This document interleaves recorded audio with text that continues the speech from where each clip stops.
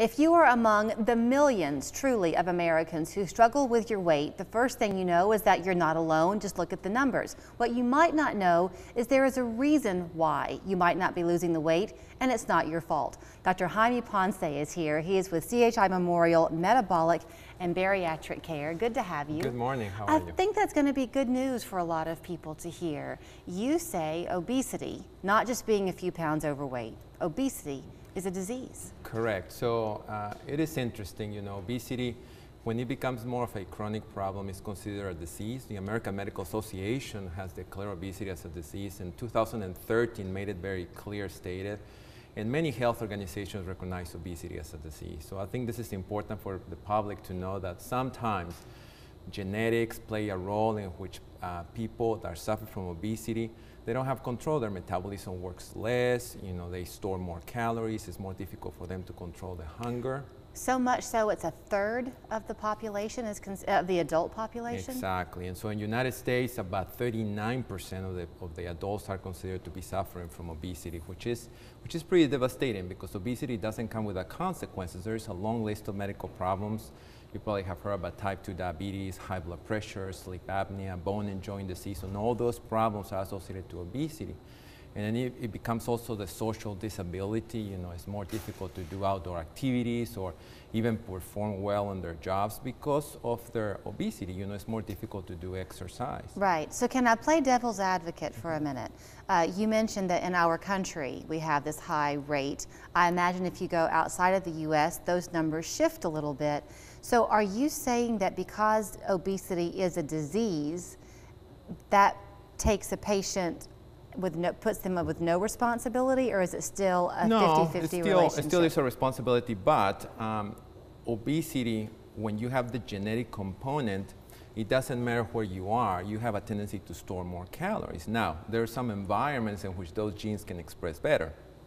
So if we have here the wrong environment, which we drive a lot, a right. lot of internet, a lot of sitting down, a lot of fast food, rich in calories, inexpensive. All those things makes us be more prone to become more overweight. Mm -hmm. uh, in other countries, and you see um, first world countries, they also have high percentage of obesity. You see right. North America, Australia, Middle East has a lot of obesity, and Europe, you know, those countries tend to have more obesity. Okay, so I mentioned this is going to be good news for a lot of people. They hear you talking and they say, he's the doctor for me. I've been struggling because people get depressed, don't they, Correct. Dr. Ponce, with yeah, just being told, watch what you eat? There's a high incidence of depression in people that suffer from obesity because there's, there's just they try and try and try and things don't work. Right. Uh, when somebody has significant overweight, you know, we're talking about 100 pounds above their ideal weight, 97% of the times they're going to fail on diets and exercise and any other support therapy.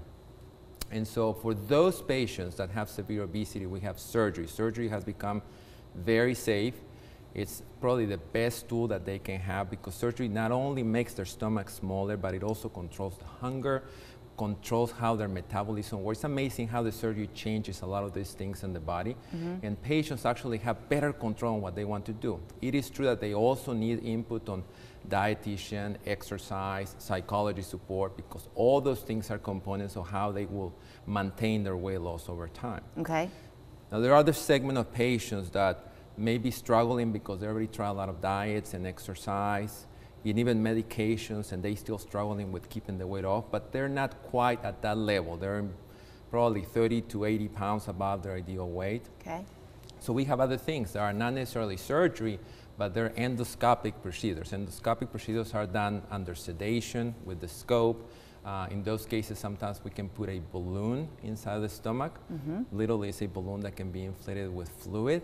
Makes you feel like you're not Makes you hungry. feel fuller that in association with good diet and exercise can help them to lose weight much better. Okay, to the point though of it being to control how much you eat, all of us probably know people who struggle with their weight, but they don't eat a lot. So to your what you said earlier about the metabolic Correct. concern, does that mean that it tends to run in families? If you're a parent yeah. who's highly overweight, should you be concerned about your child and when do you get intervention for them? That's, that's a very good question. So it's being clearly identified that there's some families that have more genetic influence, meaning that if both parents have the genetic influence and have their kids, you know, all the family is going to become much overweight than some other families, even without eating as much, even with trying to do exercise. You know, they still tend to store more calories.